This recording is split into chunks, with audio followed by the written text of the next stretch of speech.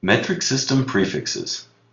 The metric system uses many standard prefixes that associate various powers of 10 with a standard unit. Examples include kilograms, centimeters, or milliseconds. More prefixes exist than are listed in this table, but here are a few that you should know. Each prefix has a symbol associated with it such as a capital M, which stands for mega, or the Greek letter mu, which stands for micro. Each prefix or symbol represents a certain power of 10. As you should know from your studies of powers of 10, the powers represent the scale factor, or how much you multiply the standard unit by. When you combine a prefix with one of the standard units of measure, such as a meter, you get a new unit that includes both the prefix and the standard unit. For example, when you combine a kilo and a meter, you get a kilometer, which is equal to 1,000 meters.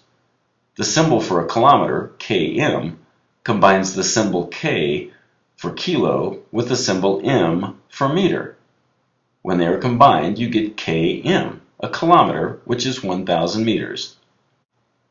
In many cases, it makes more sense to describe something using big units like kilometers rather than small units like meters.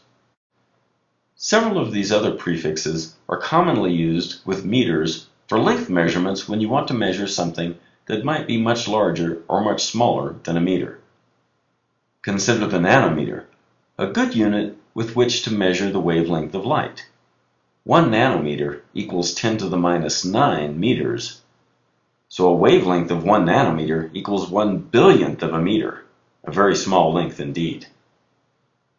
At the other end of the scale, you are probably familiar with the term megapixel, which tells you the resolution of a digital camera, or with gigabytes, which tells you how much memory is in the computer. Whenever mega or giga are used, you know that extremely large numbers are being described.